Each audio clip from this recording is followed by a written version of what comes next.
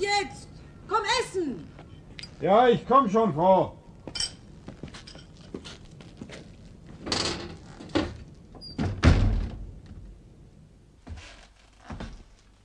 Ich hab dich gar nicht kommen hören.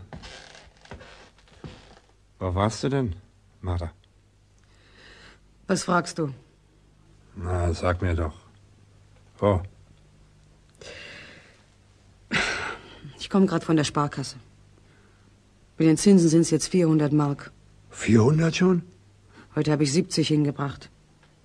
Der Kassierer sagt, bei euch macht sie's in diesem Jahr. Langsam, aber sicher. Viel zu langsam, sag ich. Ja, ja. Du kriegst nicht leicht genug. Noch 400 in einem Jahr. Wenn wir Glück haben, sind es in 20 Jahren 8000. Damit können wir uns nicht mal in ein Altersheim einkaufen. Heutzutage muss man froh sein, wenn man überhaupt sein Brot verdient. Setz dich daher in diese Einöde, anstatt in die Stadt, wo ein tüchtiger Automechaniker seine ständige Kundschaft hat. Nein, hier in diese Einöde, wo es keinen Verdienst gibt. Zwei Reifenschäden am Tag, wenn's hochkommt. Und im ersten Jahr kam überhaupt niemand. Was regst du dich denn auf, Martha? In diesem Jahr ging's doch. Ich weiß, warum du dich hier in diese Einöde gesetzt hast. Nichts als Eifersucht, weil ja kein Mann ins Gehege kommen kann. Und wenn's so wär, Martha. Und wenn's so wär. Ich habe Jahre auf dich gewartet, bis du herangewachsen warst. Und dann habe ich mich jahrelang abgerackert und hab gespart, bis ich dir ein Heim schaffen konnte. Ach Gott, hör doch auf. Oh, weil du eben für mich das Einzige auf der Welt bist, Martha. Das sagst du mir jeden Tag. Weil's so ist, Martha. Ja, aber wie mir zumut ist hier in dieser Einöde, was? Danach fragst du nicht. Was willst du denn? Die Hauptsache ist doch, dass wir zu essen haben und ein Dach überm Kopf. Tja, das wäre ja noch schöner. Und außerdem, wie viel hat denn gefehlt im ersten Jahr, dass wir auch noch hätten hungern müssen? Hm? Das war im ersten Jahr. Aber dieses Jahr ging's doch. Siehst du mich denn so an? Und jetzt will ich dir auch sagen, warum es dieses Jahr ging. Ach, ich bin nicht neugierig.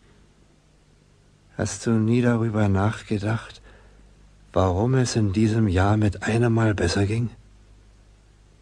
Warum vor einem Jahr, genau vom 15. Mai an, als ich die Hypothekenzinsen nicht bezahlen konnte, das Geschäft plötzlich anfing zu gehen? Der 15. Mai? Das war der Tag, wo der Händler im Städtchen mir kein Brot mehr geborgt hat. Mit dem leeren Korb musste ich zurück. Das habe ich dir allerdings nicht vergessen. Nein, das hast du mir nicht vergessen. Du vergisst mir nicht leicht was. Also, was hast du denn auf dem Herzen? Red schon. Am 15. Mai, heute vor einem Jahr, bin ich gegen Abend das erste Mal hinaus und hab Nägel gestreut auf der Landstraße. Nägel? Was denn für Nägel? Hufnägel. Von dort, wo unsere Reklametafel steht. Von der Kurve an bin ich ein Stück weitergegangen und habe hier und da einen Nagel fallen lassen in den Staub. Na und? Und von der Stunde an kamen die Reifenschäden. Mehrere am Tag. Wir hatten gute Einnahmen und ich konnte dir dein Heim erhalten, Mother. Also. Also meinetwegen hast du das getan? Bei Gott, Mother. So ist es. Also, ich bin schuld. Was? Nein, nein, nein, nein, schuld bin nur ich. Weil ich dich nicht verlieren wollte. Oh, denn das könnte ich nicht verwinden, Martha. So. Und warum erzählst du es mir überhaupt, was? Was geht's denn mich an? Hast doch bisher die Gaunerei für dich behalten. Warum erzählst du mir's jetzt? Weil ich das Unrecht nicht mehr fortsetzen will. Ich tu's nicht mehr. Schuldenfrei sind wir jetzt. Und wenn wir uns besser einschränken, muss es jetzt auch so gehen. Doch, einschränken. Als ob wir mehr hätten als knapp zu essen. Ach, da wird also jetzt das Borgen beim Kaufmann bald wieder angehen. Was? Das sehe ich schon kommen. Aber das mache ich nicht mehr mit, du. Das sage ich dir. Ja, ich gehe gleich heute Abend noch einmal zum Direktor von der Zementfabrik. So, ach. Ja, du, ich gehe zu ihm in die Privatwohnung. Wenn der Direktor die Lastwagen und Schlepper von der Fabrik zu uns in die Reparatur gibt, dann haben wir ausgesorgt. Oh, da gibt's genug zu tun. Und fortlaufend. Für zwei gibt's da zu tun. Auf dich wartet er gerade, der Direktor. Ich kann die Arbeit ja auch viel billiger machen als die in der Stadt. Weil ich geringere Spesen habe. Das werde ich ihm sagen. Und eine Drehbar könnten wir uns ja auch anschaffen von den ersparten 400. Das Geld kriegst du nicht in die Hand. Die 400 bleiben auf der Sparkasse. Das sage ich dir. Hast du denn mal darüber nachgedacht? Was passiert, wenn das rauskommt? Das mit den Nägeln? Darüber habe ich Nacht für Nacht nachgedacht. Das Zuchthaus wäre noch das wenigste. Nacht für Nacht habe ich darüber nachgedacht.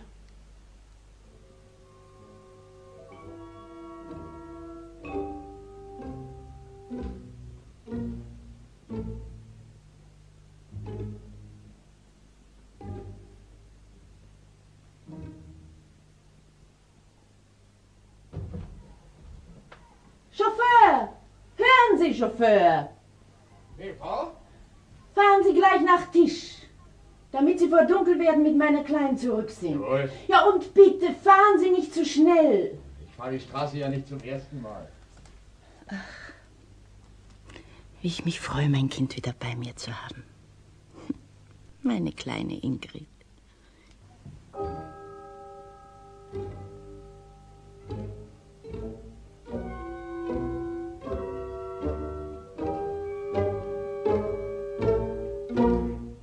Das Zuchthaus wäre noch das wenigste. Aber dass ich dann von dir fort muss, Martha. Meine Martha. Lass mich. Lass. Warum ist das so mit uns? Warum? Wir verstehen uns nicht. Es ist eben was zwischen uns. Ich weiß nicht, was es ist. Und ich sehe doch nur dich auf der Welt. Komm endlich. Das Essen steht auf dem Tisch. Ach, das ist bestimmt der Herr Emil von der Zementfabrik. Es ist seine Zeit. Bleib da, ich mach ihm auf. Ah, der Herr Emil. Frau Martha? Guten Abend, Meister. Guten Abend. Setzen Sie sich ein bisschen zu uns, Herr Emil.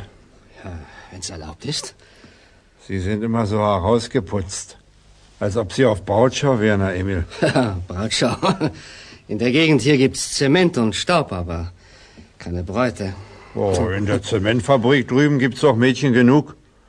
Den Herrn Buchhalter möchte doch gewiss noch manche heiraten. Aber der Herr Buchhalter mag nicht. Ach, die Mädchen von der Fabrik sind Herrn Emil nicht fein genug. Oh was? nein, ich brauche keine Feine. Aber eine, die der Herr Direktor schon gehabt hat, die brauche ich auch nicht. Oh, so einer ist das, Ihr Direktor? Aber er wird doch nicht alle gehabt haben? Alle nicht. Aber alle hübschen. Das weiß ich am besten.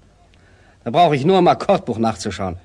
Wenn eine einen höheren Akkordsatz bekommen hat, dann weiß ich schon, dass sie beim Direktor in der Wohnung gewesen ist. Ja, ja. Es dreht sich eben immer alles ums Geld. Also ich gehe jetzt hinüber zu Herrn Direktor. Ich fahre mit dem Rad. Da bin ich in drei Minuten drüben. Auf Wiedersehen, Herr Emil. Wiedersehen.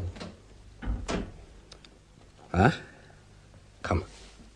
Na komm schon. Er ist ja noch bei der Tür. Na, Die ist zu und er ist draußen. Komm. Ach du hast denn. Sag mir, aber mich würdest du heiraten, wie? Aber selbstverständlich. Dich sofort. Aber ich dich nicht. Ah, sieh mal an. Und warum würdest du mich nicht heiraten? Weil du genauso einer bist wie dein Direktor. Aber trotzdem gefalle ich dir, wie? Du, ohne dich wär's doch gar nicht auszuhalten in der Gegend. Aber morgen. Lass. Was will denn dein Mann von meinem Direktor? Er ist mit dem Wagen fort. Ach, er möchte, dass der Direktor uns die Lastwagen und Schlepper in Reparatur gibt. Daran ist ja gar nicht zu denken. Die Wagen werden schon seit Jahren in der Stadt zur Reparatur gegeben. Immer in dieselbe Werkstatt. Und wenn wir es billiger machen? Ja, gut wäre das schon für euch. Die Reparaturen machen nämlich im Durchschnitt äh, mindestens 50 Mark wöchentlich aus. Ach, viel Geld. Ja, ja. Warum hast du dich denn nicht sehen lassen? Fast zwei Wochen. Du hast ja einen Mann im Haus. Ach, Mann. Du, ich fühle nichts bei ihm. So. Wenn ich auch weiß, dass er mehr wert ist als du und alle anderen. Ach, manchmal denke ich, das Leben könnte sehr schön sein mit ihm. Aber wenn er dann kommt und so, ich, ach, da werde ich zum Stück Holz. Das ist wie verhext. Aber bei mir, bei uns klappt's. Hm? Lass jetzt. Man muss es eben verstehen mit den Weibern.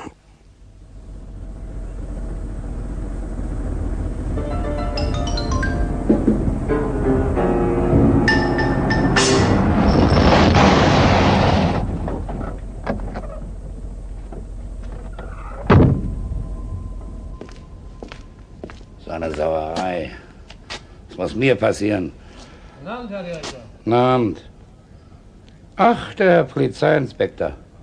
Auch noch auf der Straße, Herr Franz? Nur so ein bisschen mit dem Fahrrad. Da sehe ich hier einen Wagen in der Kurve schleudern. Mindestens 80 hatten Sie drauf, Herr Direktor. Na und jetzt? Tja, Herr Franz. Panne. Linke hintere Reifen. Ich habe einen Hufnagel erwischt. Noch ein Glück, Herr Direktor, dass Ihnen gerade in der Kurve bei der Reparaturwerkstatt passiert ist. Na, will ich gleich mal rübergehen. Hoffentlich ist der Meister da. Wenn ich eher dann die Frau. Nicht übel, die Frau. So? Was Sie nicht sagen. Was Sie nicht sagen.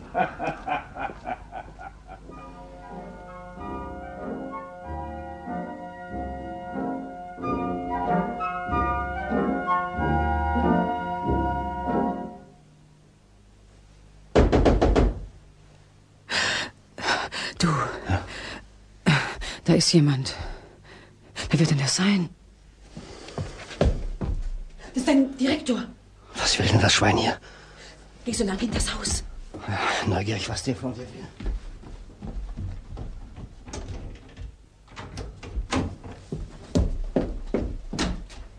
Ah, guten Tag, Herr Direktor. Ist der Meister da? Leider nicht. Was ist, Herr Direktor? Ein Reifenschaden. Ach. Ich habe einen Hufnagel erwischt in der Kurve bei Ihrer Reklametafel. Mein Mann wird es sofort in Ordnung bringen, wenn er zurückkommt. Hübsch sind Sie. Ach, wo, Herr Direktor? Ich wusste gar nicht, dass es hier in dieser gottverlassenen Gegend so etwas gibt. Eine appetitliche Frau. Wirklich? Ach, das ist doch gewiss nicht der Ernst. Wollen Sie einmal herüberkommen? Zu mir? Hm? Meine Wohnung? Aber Herr Direktor, ich bin doch eine verheiratete Frau. Und ich bin eine treue Frau. Ja, ja, Herr Direktor. Man muss es Sie aber genau betrachten. Herr Direktor. No? Wie wär's? Hä? Warum geben Sie eigentlich die Lastwagen und Schlepper von der Fabrik nicht zu uns in Reparatur? Ich wusste ja nicht, dass der Meister eine so hübsche Frau hat. Jetzt wissen Sie es also. Mein Mann kann jede Reparatur ausführen. Er ist nämlich ein tüchtiger Autoschlosser. Gut, machen wir ein Geschäft. Dein Mann bekommt den laufenden Auftrag und du bringst mir die Wochenrechnung. Jeden Sonntag nach dem Essen bringst du mir die Wochenrechnung. Abgemacht? Gut. Ich bring die Rechnung. In meine Privatwohnung. Da wird mein Mann sich aber freuen, dass er jetzt die Reparaturen bekommt. Wiedersehen. Am Sonntag. Auf Wiedersehen, Herr Direktor.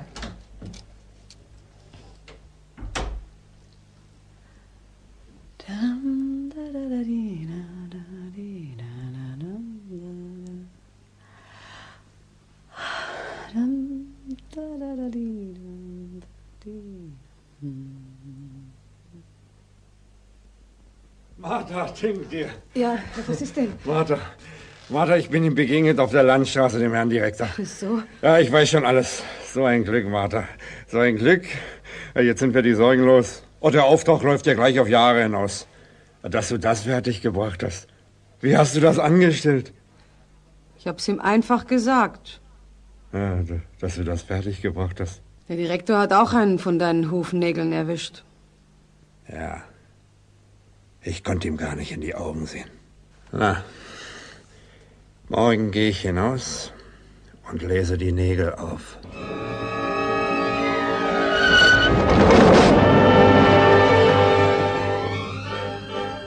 Um Himmels Willen, was war das? Ich sehe nach. Hallo! Hilfe! Ja, was ist denn? Hallo! Kommen Sie doch rein. Sie bluten ja. Martin. Was ist denn? Was ist passiert? Ein Wagenheber! Schnell, ein Wagenheber! Der Wagen hat sich überschlagen. Die Böschung runter ins Feld. Oh, ist ja nicht so schlimm. Ist ja nur ein paar Schrammen auf der Stirn. Das Kind liegt unterm Wagen. Ein Kind. Bei Ihrer Reklametafel in der Kurve. Und den Wagenheber, schnell! Na kommen Sie. Legen Sie sich nebenan. Ein Kind verunglückt. Allmächtiger. Ja, der Wagenheber. Um Himmels Willen, wo ist der Wagenheber? Wagenheber, der Wagenheber, dort steht er ja. Ja, jetzt ist das Unglück da. Wenn es ein Reifenschaden ist, musst du ihn gleich in Ordnung bringen. Dann muss sofort beseitigt werden, hörst du? Jetzt ist das Unglück Den da. Mann da drinnen halt ich so lange hier fest. Der darf nichts merken von der Reparatur, wenn es ein Reifenschaden ist. Jetzt ist das Unglück da. Nimm den Wagenheber und mach schnell. Jetzt ist alles aus. Du tust, was ich dir sage, hörst du? Der Reifenschaden muss heimlich beseitigt werden. Ist noch Schnaps da? Ja, Schanken. Den mache ich betrunken. Den Chauffeur mache ich betrunken. Ein Kind unterm Wagen. Wie ist denn das Unglück passiert? Weiß ich selber noch nicht. Wahrscheinlich ein Reifenschaden. Warten Sie. Ich helfe Ihnen den Rock ausziehen. Ich konnte mich ja nicht vergewissern. Ich bin ja gleich hierher gelaufen, so schnell wie es ging. Weil das Kind unterm Wagen liegt. Aber es muss ein Reifenschaden sein. Möglich. Aber es braucht keiner zu sein. An einem Auto kann allerhand vorkommen. Das Kind. Ich muss mit raus. Das Kind. Ach, Sie können ja nicht. Bleiben Sie nur da, mein Mann kümmert sich schon. Ziehen Sie das Hemd aus. Dann sehe ich nach, wo Sie noch Schmerzen haben. Hier vielleicht. An den Rippen? Möglich, dass alle gebrochen ist. Festen Brustkasten haben Sie. Na, jetzt trinken Sie mal einen Schnaps. Schnaps vertrage ich schon gar nicht. Na, kommen Sie schon. Ich trinke nämlich sonst überhaupt keinen Alkohol. Aber mir ist wirklich schon besser. Na, sehen Sie. Also dann noch einen. Und ich werde auch einen trinken. Jawohl. Verfluchte Sauerei. Ich habe Ingrid abgeholt vom Landheim. Und jetzt sowas. Hm, Meine Herrin, die schmeißt mich raus. Wird schon nicht so schlimm werden. Noch. Na, Es ist schon alles gleich. Sie sind Autoschlosser? Ein gelernter Autoschlosser. Dann könnten Sie vielleicht bei uns eintreten, wenn Ihre Herrin Sie entlässt. Bei, bei Ihnen hier? Das wäre was. Also das wäre gut. Hier sind die Schmerzen. Es geht einem ja durch und durch, wenn Sie einen anfassen. Durch und durch, Schlaf jetzt. durch und durch.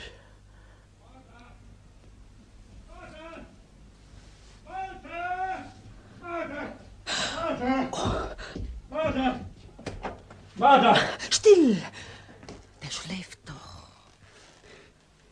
Das Kind. Ist ein Reifenschaden. Martha, das Kind. Ob es ein Reifenschaden ist, Im rechten Vorderrad. Einer von meinen Nägeln. das musst du heute noch reparieren. Sofort musst du das machen. Was starrst du mich denn so an? Was ist denn? Das Kind ist tot. Was sagst du? Das Köpfchen. Der Schläfe. Eingedrückt.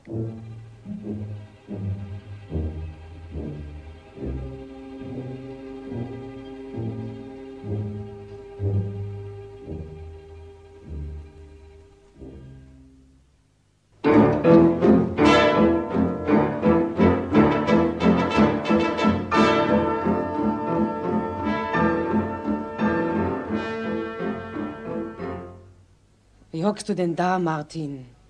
Das Grübeln nützt doch nichts. Ich habe seither in dieser ganzen Woche habe ich nicht geschlafen. Jetzt hör mich mal an. Die Sache liegt doch so. Sogar wenn Sie rausschnüffeln, dass ein Reifenschaden schuld war an dem Unglück, dann wüssten Sie ja immer noch nicht, dass du Nägel gestreut hast und an dem Reifenschaden schuld bist. Gar nichts wüssten Sie. Aber es ist besser, Sie erfahren erst gar nicht, dass es ein Reifenschaden war. Sonst bohren Sie nämlich weiter, bis Sie es rausfinden. Du musst dir einprägen, es war kein Reifenschaden. Hörst du? Also nimm dich zusammen nachher, wenn der Polizeibeamte kommt und dich ausfragt. Das ist jetzt die Hauptsache. Martha, So lange musst du dich noch zusammennehmen. Wenn das überstanden ist, die Vernehmung, dann haben wir Zeit gewonnen. Martha, sobald ich die Augen zumache, da sieht mich das Kind an. Es ist tot und doch sieht's mich an. Das Kind ist begraben. Das Kind sieht niemand mehr an. Jetzt sind die Nägel unser Unglück geworden. Die Nägel bringen mich ins Zuchthaus. Wenn du den Reifenschaden damals an dem Abend nicht gleich beseitigt hättest, dann wärst du doch schon drin. Ach, mir wäre leichter. Ach, und was dann aus mir werden soll, daran denkst du nicht. Och, ich hab doch immer nur an dich gedacht. Sogar jetzt, wo ich in so großer Not bin, denke ich doch immer nur, was aus dir werden soll, wenn die Sache rauskommt. Die kriegen's nicht raus, wenn du dich zusammennimmst. Du kommst nicht ins Zuchthaus. Und auch deinen Seelenfrieden wirst du wiederfinden. Und deine Ruhe. Nein, nein, Martha. Das sitzt da drin. Hier. In der Brust. Du. Du, das hat Gewalt über mich.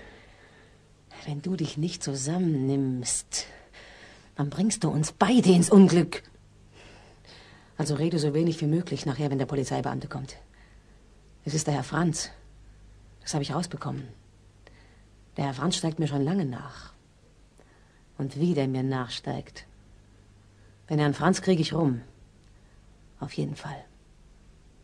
Du weißt von nichts. Du weißt nur, dass alle vier Reifen unversehrt waren. Hörst du? Ja, ja. Aber es kann nicht mehr gut werden. Nie mehr. Das ist der Polizeiinspektor, der Herr Franz. Er will den Chauffeur verhören. Da muss ich dabei sein. Also Sie sind der Chauffeur. Ja, Inspektor. Mir bleibt die ganze Sache unverständlich. Bei normalem Fahren hätte das Unglück doch gar nicht passieren können. Guten Tag, Herr Franz. Ach, guten Tag. Ich habe ein paar Fragen an den Chauffeur. Ja, ich verstehe es selber nicht. Ich fahre seit acht Jahren. Mir ist noch nichts dergleichen passiert. Nur, wenn Sie am Steuer eingeschlafen wären. Ja, woher denn? Denn die Straße ist nicht schlecht. Zwar neigt sie sich in der Kurve etwas stärker als gut ist gegen die Böschung zu, aber dass dadurch ein Wagen ins Schleudern gerät, glaube ich nicht. Ja, bei einem Reifenschaden. Und zwar bei einem Reifenschaden am rechten Vorderrad. Da wäre das schon denkbar, dass der Wagen plötzlich scharf nach rechts gerissen würde und infolge der seitlichen Neigung der Kurve sich überschlagen könnte. Genau so war's. Plötzlich reißt den Wagen nach rechts. Wie beim Reifenschaden. Und schon überschlägt er sich und liegt unten im Feld. Aber Sie sagen ja selbst, dass sämtliche Reifen unversehrt waren. Ja, ja, das kann ich bezeugen, Herr Franz, ja.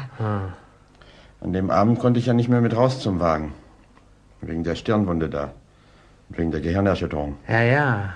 Aber am nächsten Morgen hat mir der Meister sofort gesagt, dass alle vier Reifen unversehrt waren. Und ich habe mich auch selber davon überzeugt. Haben vielleicht die Bremsen versagt? Nein, nein, das hätte ich gespürt. Die Bremsen waren in Ordnung. Na, vielleicht müsste man die abschüssige Kurve doch ein bisschen aufschütten. Das könnte jedenfalls nicht schaden. Ich werde das beim Straßenbaum veranlassen. Obgleich, wie gesagt, der Zustand der Kurve nicht schuld ist an dem Unglücksfall. Ist der Meister da? Ich hole ihn. Ich hole meinen Mann, Herr Franz. Mhm. Sie arbeiten jetzt hier in der Werkstatt? Der Meister hat mich eingestellt. Das ist das einzige Glück dabei. Sonst hätte ich vielleicht Jahre warten müssen bei der großen Arbeitslosigkeit. Meine frühere Herrin hat mich nämlich gleich entlassen. Die steigt überhaupt in kein Auto mehr seit dem Unglück. Sie hat ihren Wagen abgeschafft. Das ist ja zu verstehen. Die Frau soll ja auch seither nicht mehr richtig sein im Kopf. Sie wohnt jetzt oben am Waldrand. Wie ich höre, hat sie das Zimmer gleich auf ein ganzes Jahr gemietet. Jeden Tag geht sie runter an die Stelle, wo das Unglück passiert ist. Da steht sie dann und schaut. Und wenn jemand des Weges kommt, geht sie auf ihn zu und blickt ihm ins Gesicht. Mir ist sie gestern auch begegnet. Sie sagt nicht guten Tag und nicht Adieu. Sie hat mich nur angesehen. Mir ist's eiskalt runtergelaufen. Sie hat mich nämlich nicht erkannt. Und ich war doch drei Jahre bei ihr in Stellung. Äh, Frau Martha, ich möchte jetzt Ihren Mann sprechen. Ja, Herr Franz. Sie brauche ich einstweilen nicht mehr. Herr Polizeiinspektor. Martin! Komm mal rein, Martin!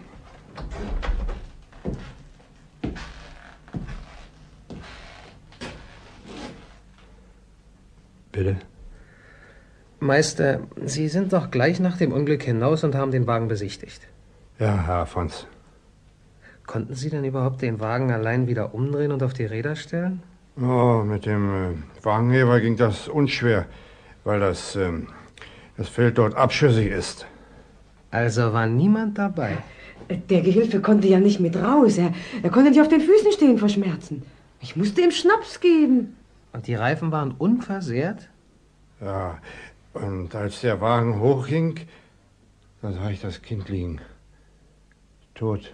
Das will der Herr Franz jetzt nicht wissen, Martin. Ja, die Reifen waren unversehrt. Auch der rechte Vorderreifen? Ah, ja. Mein Mann hat die Sache nämlich schwer mitgenommen. Wissen Sie, Herr Franz, er hat doch das Kind vorgezogen. Und das ist begreiflich. Aber unbegreiflich ist, dass der ganze Wagen verbogen und zertrümmert war. Sogar das Motorgehäuse und das Getriebe gebrochen. Und nur die Reifen unversehrt. Das kommt selten vor, ne? Na, offenbar kann es doch vorkommen. Das haben wir ja gesehen. Uns geht ja übrigens die Sache weiter nichts an. Nicht mal in Reparatur haben wir den Wagen bekommen. Ja, merkwürdig ist nur, dass an dieser Kurve schon recht häufig was passierte im letzten Jahr. Und es bisher auch nie etwas Ernstliches war, meistens noch Reifenschäden. Der Direktor von der Zementfabrik hat ja auch einen Reifenschaden an dieser Stelle. Und sogar am selben Tag, an dem das Unglück passierte. Zufall. Ja, ja. Jeder Autofahrer hat mal einen Reifenschaden. Oh, zweifellos. Wenn ich mich recht erinnere, ist der Direktor in einen Hufnagel gefahren. Stimmt das? Ah, es war ein Hufnagel. Ja, ich erwähne das nur, weil so ein Reifenschaden verursacht durch einen Hufnagel eine ausreichende Erklärung auch für das Unglück wäre. Aber da Sie sagen, dass die Reifen unversehrt waren, na, wir werden ja sehen. Kommen Sie doch wieder mal zum Café zu uns, Herr Franz. Ich meine, wir verstehen doch alle drei was von Autos. Vielleicht finden wir doch noch raus, was an dem Unglück schuld war. Ich bin überzeugt, dass ich die Ursache noch finden werde. Das ist ja mein Beruf. Ich sehe mir die Unfallstelle noch einmal genau an. Wiedersehen, Meister. Adieu, Polizeiinspektor. Adieu. Sie haben mein Töchterchen gesehen, wie es unter dem Wagen lag. Ja, Frau. Hat es noch geatmet?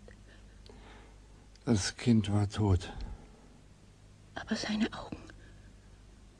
Waren seine Augen offen? Hat mein Kind sie angesehen?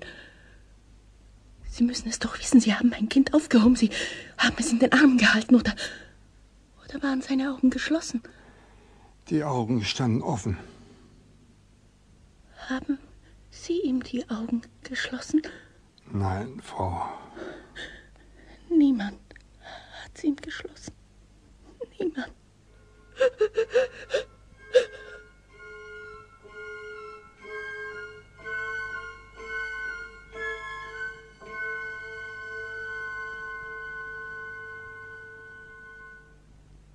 Der Herr Franz riecht was. Wenn er auch noch nichts Gewisses weiß. Aber ich habe Angst, der schnüffelt's noch raus. Du musst dich sehr in Acht nehmen. Ja, die Mutter war da. Die Mutter von dem Kind. Ich muss hingehen auf die Polizei und alles eingestehen. Was sagst du da? Was? Ich habe ein Kind umgebracht. Seine Schuld muss man auf sich nehmen und abbüßen. Und das ist besser, ich schieb's gar nicht länger hinaus. Und gehe gleich heute Abend noch auf die Polizei. Daraus wird nichts, das sag ich dir. Ich lasse das nicht zu, hörst du? Das lasse ich nicht zu. Das kannst du nicht verhindern. Darüber hast du keine Gewalt.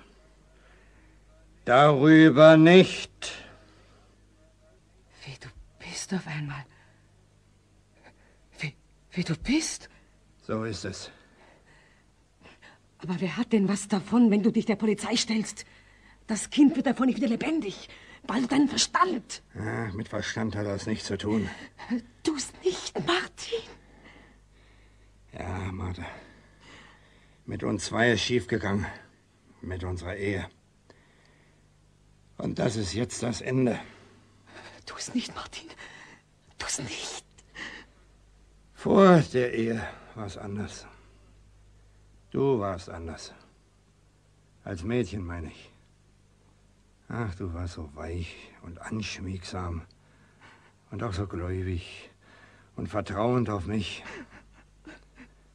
Aber nach der Heirat, gleich in der ersten Woche, ach, da warst du auf einmal hart.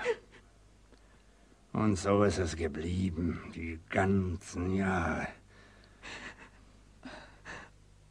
Begreifen kann ich mich selbst nicht. Wenn ich zurückdenke, wie gut alles war vor der Heirat. Im Herzen hatte ich dich immer gern, die ganzen Jahre. Nur das andere, du weißt, was ich. Ja, ja, ich weiß, ich weiß. Und da wurdest du unzufrieden mit allem und so hart wie Holz und auf einmal auch gierig nach Geld. Martin. Ach, das soll kein Vorwurf sein, Martha. Er könnte sich da zum Richter aufwerfen. In diesem verwickelten Ding. Du warst immer gut zu mir. Zu gut. Ja, weil ich dich immer sah, wie du vor der Heirat warst. Wie du nämlich in Wirklichkeit bist. Ich habe immer noch gehofft, dass noch alles gut werden könnte zwischen uns. Ich habe gedacht, das geht leicht, wenn dein Herz dabei ist. Und jetzt habe ich mich so furchtbar versündigt. Ein unschuldiges Kind, das noch sein ganzes Leben vor sich hatte. Ich muss es abbüßen. Oh, dazu ist es jetzt gekommen, weil ich schlecht zu dir war. Und du sollst jetzt ins Zuchthaus. Furchtbar. Das ist furchtbar. Ja, ich hätte keine Ruhe. Du. Ich hätte den Seelenfrieden. Nicht mehr. Das ist jetzt die Strafe für alles, was ich getan habe. Ach, du bist ja in Wirklichkeit gar nicht so. Du hast dich nur verirrt. Und dann bist du immer weitergegangen in die falsche Richtung. Ach, es ist ein Unheil. Ja, die Menschen haben schwer, weil das Leben so schwer und verwickelt ist. Ja. Du, Martha, manchmal denke ich, dass auch die Unschuldigen schuldig werden müssen. Weißt du, weil das Leben und alles so schwer und so verwickelt ist. Und dass deshalb auch die Schuldigen nicht wirklich schuldig sind. Was soll ich nur tun? Was soll ich tun? Wenn ich dir nur helfen könnte, Nein, nein, Martin. nein, nein, nein, das kannst du nicht. Vorige Woche, Martha. Vorige Woche, als ich in der Stadt war. Da habe ich das Haus und das Geschäft, das ganze Anwesen, das habe ich auf deinen Namen überschreiben lassen. Ja, vorhin ist die Überschreibungsurkunde gekommen mit der Post. Sie liegt dort im Schrank. Ich brauche nur noch meinen Namen drunter zu setzen. Dann können Sie dir das Anwesen nicht wegnehmen, wenn Schadenersatzklagen kommen. Martin, Aber du hast ja keine Nägel gestreut. Und du hast auch nichts gewusst davon. Das Geschäft kannst du leicht allein weiterführen mit einem tüchtigen Gesellen.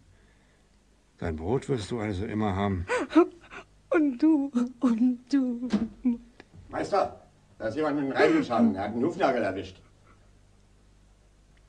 Du, Martha, da kannst du gleich einmal mit hinaus zu dem Wagen. Von jetzt an musst ja du das Geschäft führen, Martha. Fang nur gleich damit an.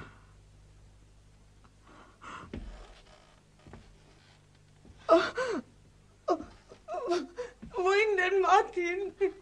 Wohin gehst du? Hinaus auf die Landstraße und die Nägel auflesen, damit nicht noch ein Unglück passiert.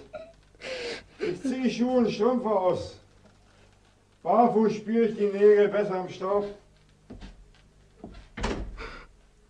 Wo geht er denn hin? Sieht aus wie ein Pilger.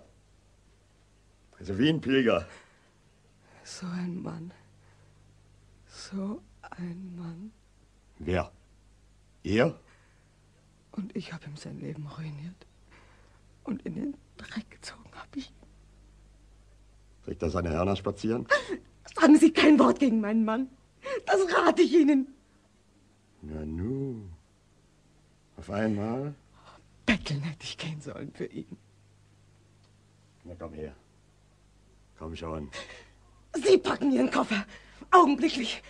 Und raus! Heute noch raus! Und wenn ich, bevor ich gehe, ein Wörtchen red mit deinem Mann? Über dich und den Herrn Buchhalter? Hm? Ich sag's ihm selber, was für eine ich war. Dann kannst du deinen Koffer packen. Alles sag ich ihm. Dann fällt ihm wenigstens der Abschied von mir nicht schwer. Das Einzige, was ich noch tun kann für ihn. Na komm schon. Weg! Lassen Sie mich! Ach was! Nein, nein! Was alle auf einmal? Lassen Sie mich! Lassen mich! Martin!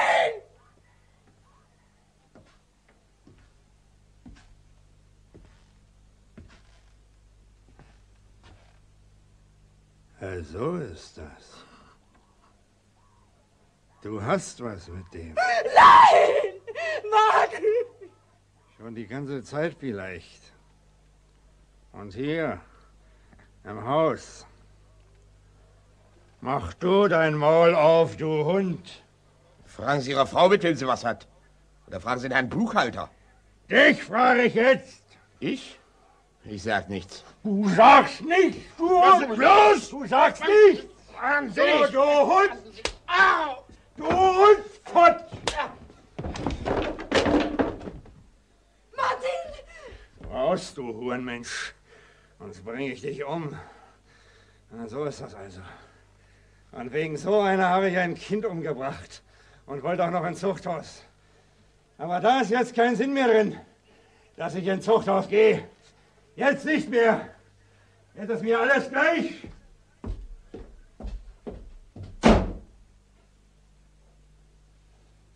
Jetzt ist alles aus.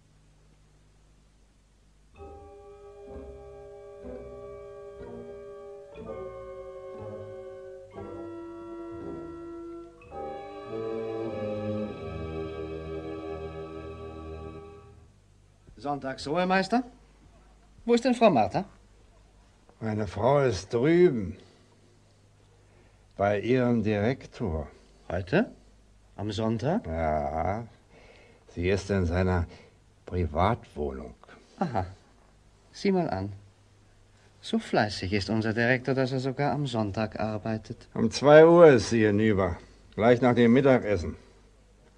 Und jetzt haben wir fünf. Hm. So lange braucht der Herr Direktor. Zum Kontrollieren der Rechnung. Na, vielleicht ist sie längst fort. Vielleicht macht sie einen Spaziergang. Es ist doch schön heute. Oder vielleicht, äh, vielleicht äh, zeigt er ihr seine Wohnung. Ja, mag auch sein. Er hat doch sicher eine sehr schöne Wohnung. Wie?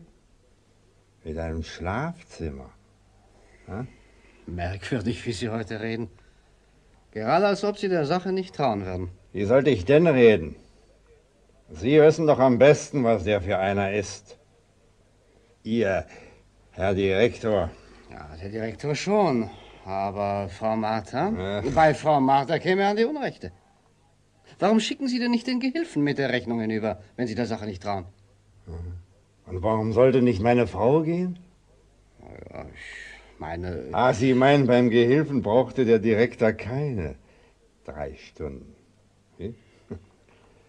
Wahrscheinlich hat das im Kontrakt, dass meine Frau ihm die Rechnung in die Privatwohnung bringen muss.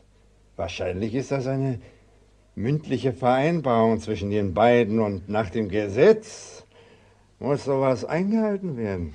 Machen Sie sich lustig über mich? Von der Seite kenne ich es ja gar nicht. Was haben Sie denn heute? Wenn Sie der Sache nicht trauen, dann sollten Sie doch lieber den Gehilfen schicken. Kontrakt ist Kontrakt. Und der Gehilfe, wissen Sie, der kann für mich keine Rechnung mehr einkassieren. Der ist nicht mehr bei mir. Ach. Ja, der war nämlich auch hinter meiner Frau her. Aha. Oder sie hinter ihm. Was Sie mir da erzählen. Ja, also Frau Martha tut so etwas bestimmt nicht. Das ist ganz ausgeschlossen. In dem Punkt kenne ich Frau Martha ganz genau. Das glaube ich Ihnen gern. Und wie genau? Und sicher schon sehr lange. Hm. Da haben Sie jetzt einmal die Wahrheit gesagt. Ich, Ach, ich will gar nicht wissen, wie lange Sie meine Frau in dem Punkt so genau kennen. Was Sie da sagen. Ich habe nichts mit ihr. Mit einer verheirateten Frau? Das würde ich mir gründlich überlegen. Dabei kommt nichts Gutes heraus. Das hätten Sie sich früher überlegen müssen, Herr Emil, dass dabei nichts Gutes herauskommt. Wenn ich Sie wäre, da würde ich nicht eine Sekunde länger hier bleiben. Sie! Das, wie Sie Sie! wollen. Das, das ist ja Ihr Haus. Ja! Ja! Das ist mein Haus.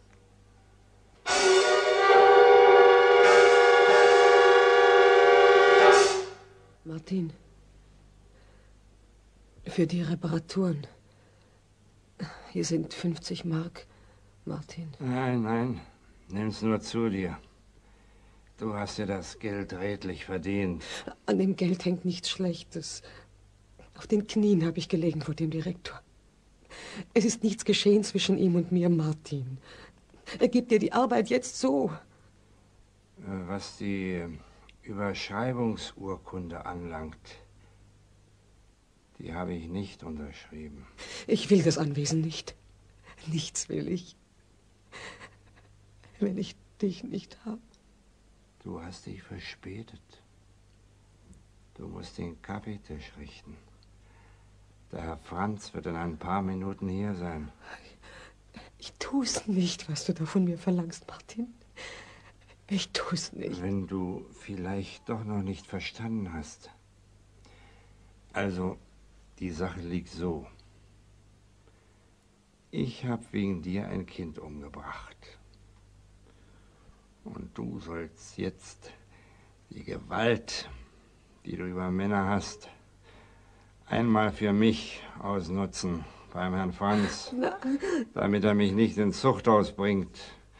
Denn da liegt jetzt für mich kein Sinn mehr drin, dass ich ins Zuchthaus gehe. Also, damit du's genau weißt. Du sollst erreichen, dass er mich nicht anzeigt. Das allein ist wichtig. Und dass ich mit ihm schlafe. Das ist dir gleich. Warum solltest du etwas, was du früher so, so leichthin getan hast, jetzt auf einmal nicht mehr tun? Dich kostet's nichts. Du hast noch dein Vergnügen dabei. Und mich kannst du damit vor dem Zuchthaus bewahren. Und wenn's mich alles kostet, Martin. Alles. Weil ich doch nur dich will auf der Welt.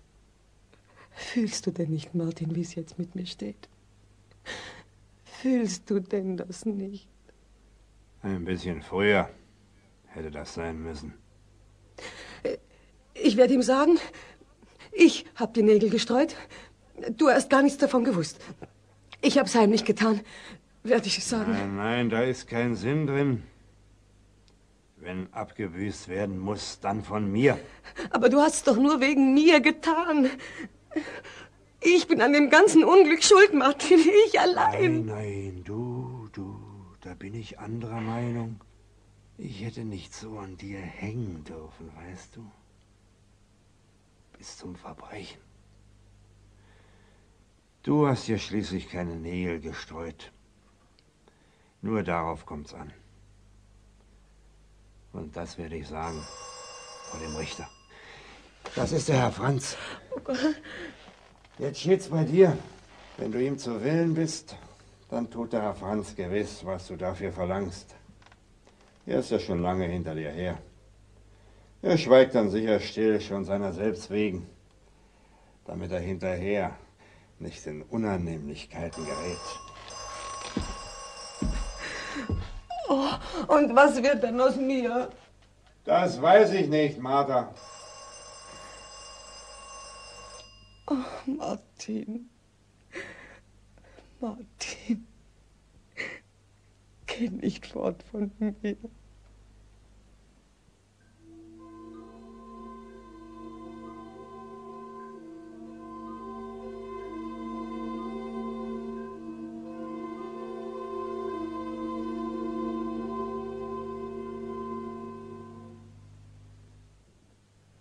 Da bin ich, Frau Martha. Zum Kaffee. Der Meister nicht zu Hause? Er ist fort. So? Na. Ach. Da liegt ja Geld. Und ein Brief? Ich habe das Anwesen verkauft. Die Hälfte des Geldes lasse ich dir zurück. Leb wohl, Martin. Was sagen Sie dazu, Frau Martha? Letzten am Abend, da ging ich noch mal an die Stelle, wo das Unglück passiert ist, zu der Kurve. Grüble darüber nach, was die Ursache gewesen sein kann. Da sehe ich doch Ihren Mann daherkommen, ohne Schuhe und ohne Strümpfe. Er schaut immer so mit dem Fuß im Staub und bückt sich auch manchmal. Na, was hebt er denn da bloß auf, denke ich? Dann bückt er sich schon wieder. Na, später bin ich ja drauf gekommen, was er da herausgefischt hat aus dem Staub. Ein Autoschlosser, der Nägel von der Landstraße aufliest, damit es nur ja keine Reifenschäden gibt, weil er sonst ja Arbeit bekäme und Verdienst. Also das ist doch merkwürdig, nicht wahr? Oh. Ja, das Gegenteil. Das Gegenteil, das wäre schon eher zu verstehen. Wenn ein Autoschlosser Nägel streuen würde. Ja. Allerdings, sowas kann gefährlich werden. Durch einen Nagel könnte das größte Unglück passieren in dieser Kurve. Meinen Sie nicht auch, Frau Martha? Meinst du nicht? Ja. Er hat Nägel gestreut. Er hat's meinetwegen getan, weil er Angst hatte, dass ich ihm fortlaufe aus der Armut. Und dadurch ist das Kind umgekommen. Und jetzt ist er fort. Oh, weit kann er ja noch nicht sein. Braucht er bloß ans Telefon zu gehen, dann gibt das Polizeirevier den Fahndungsbefehl raus. Und in einer Stunde haben wir ihn. Tun Sie mit mir, was Sie wollen. Hübsch bist du. Martin! Martin! Ja, Vater! Verfluchte Sauerei, da ist er. Vater! Vater! Vater, komm. Du, lass deinen ganzen Kram mal. Ich kaufe hier in Hamburg einen Mantel und alles. Oh, du nimmst mich mit, Martin. Ja. Nimmst du mich mit? Ja, ja, ja. Komm, Vater, komm. So. Die sind weg. Und jetzt die Fahndungsstelle. Nein. Ich habe mich da schon so tief eingelassen. Es könnte gefährlich werden für mich. Es ist besser, ich weiß von nichts und lass ihn laufen. Zu gefährlich für mich.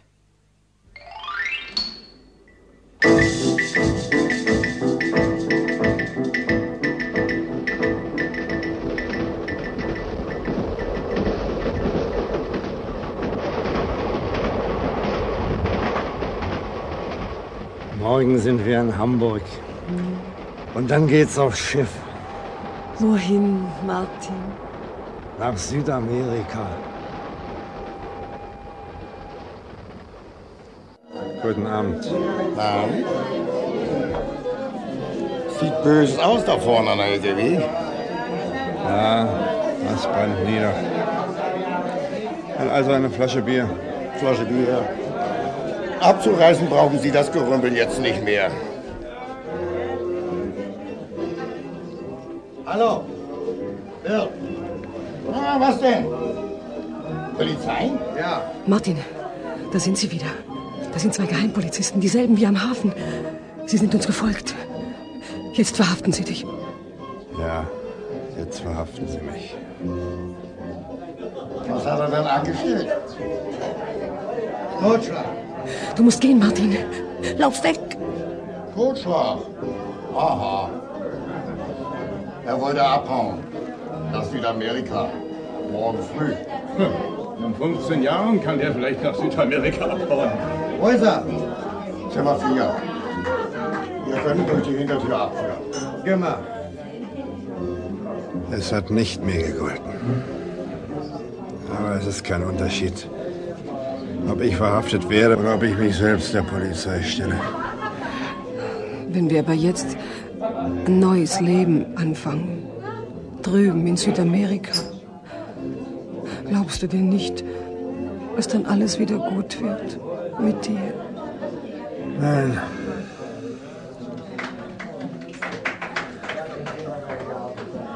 Ich muss es dir erklären, Martha. Dann erkläre ich es vielleicht auch mir selber. Ich verstehe es ja selber nicht. Ich fühl's nur. Die Schuld. Als ich dich verloren hatte, wegen dem Buchhalter, da war der Druck, dass ich's abbüßen muss, auf einmal nicht mehr da. Mir war alles gleich. Aber jetzt, seit zwei Wochen, seitdem du bei mir bist, so ganz und gar, jetzt fühle ich auch wieder die schwere Schuld. Und hat das in der Brust, Marder. Das drückt und drückt. Ich sehe immer wieder das Kind, das ich umgebracht habe. Ach, Martin. Das Kind ist tot. Und ich soll jetzt mit dir in Südamerika ein glückliches Leben haben? Nein, das lässt's nicht zu, Martha. Ich spür's, du. Das lässt's nicht zu. Das Zuchthaus überlebst du nicht. Dann sterbe ich auch. Es ist am besten. Ich gehe jetzt gleich auf die Polizei.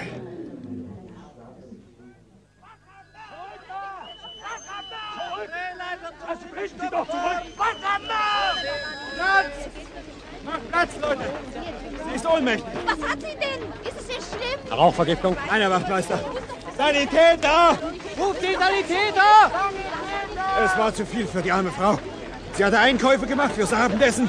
Und als sie heimkam, stand der ganze Häuserblock in Flammen. Da rennt sie auch schon rein. Wir haben sie gerade noch eingeholt im ersten Stock, sonst wäre sie hin gewesen. Aber ihr Kind ist drin. Ganz oben unterm Dach stand es am Fenster und schrie. Das ist ja furchtbar. Das war zu viel für die arme Frau. Da fiel sie in Ohnmacht. Und was ist jetzt mit dem Kind? Nichts mehr zu machen. Schon zwei von unseren Leuten sind verunglückt. Jetzt wagt sich da keiner mehr rauf.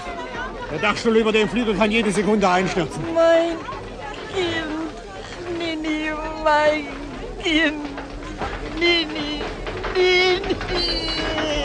So helft doch! Können Sie denn nichts mehr machen? Die Feuerwehr hat getan, was sie konnte. Von außen kommen Sie nicht ran an das Kind. Die Leitern reichen nicht hinauf. Und von innen auch nicht mehr, weil der ganze vierte Stock liegt der brennt. Und dazwischen im fünften Stock in dem Erkerzimmer ist das Kind! Da hinauf kann keiner mehr. Ich probier's. Hier, Martha. Nimm das Geld. Martin, es ist dein Tod. Nini, mein Kind.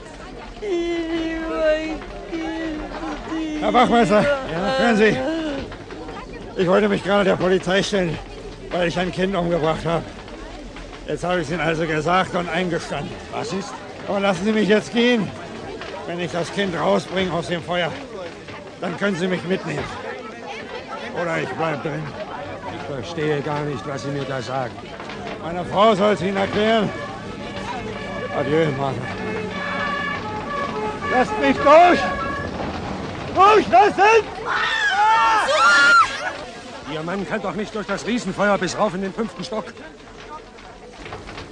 Dort im Fenster!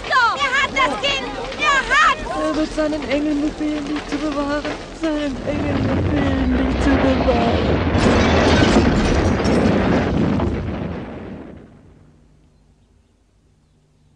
Der Dachstuhl ist eingestürzt. Das Kind konnte der Mann noch retten. Dem Kind ist nichts passiert.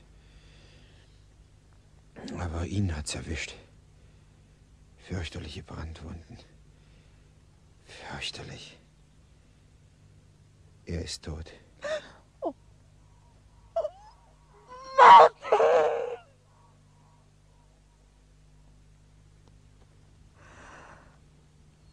Martin.